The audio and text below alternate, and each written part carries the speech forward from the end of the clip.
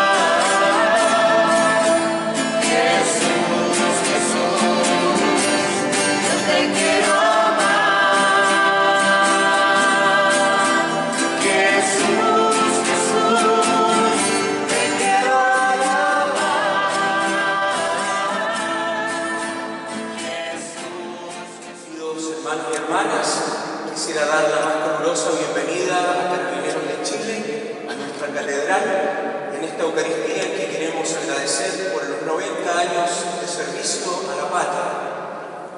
Son tiempos difíciles para todas las instituciones.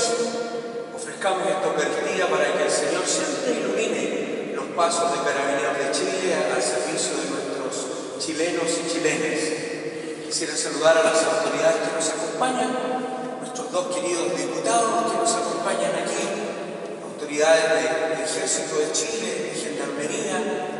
Pidamos al Señor que todos nosotros, cada uno en el lugar donde el Señor nos ha puesto, podamos responder a esa invitación al servicio, que tanto tiene que ver con la celebración de la Pascua que estamos celebrando.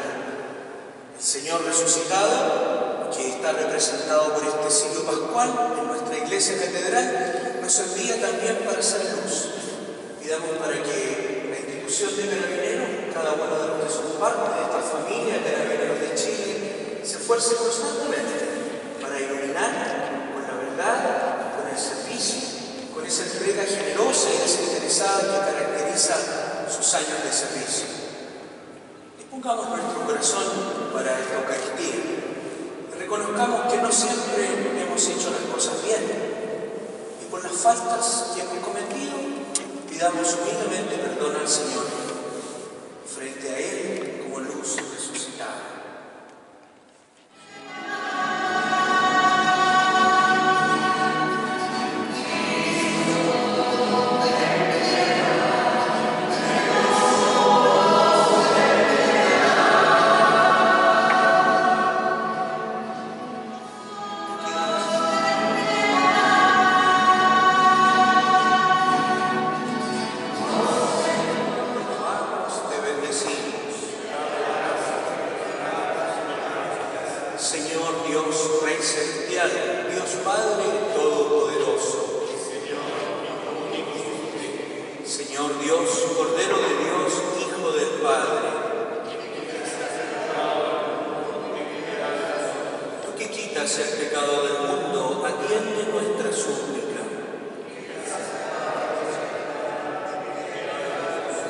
solo tú eres santo. Solo tú, Altísimo Jesucristo, con el Espíritu Santo. Oremos. Nos disponemos a escuchar la palabra de Dios. Ella ilumina nuestra celebración y nuestra vida. Escuchemos.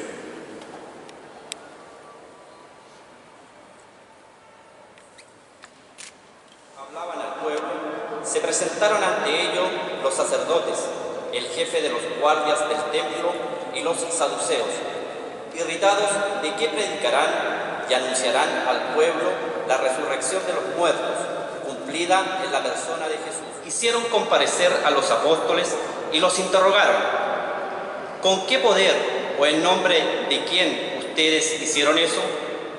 Pedro, lleno del Espíritu Santo, dijo, el que ustedes crucificaron y Dios resucitó de entre los muertos, Él es la piedra que ustedes, los constructores, han rechazado y ha llegado a ser la piedra angular.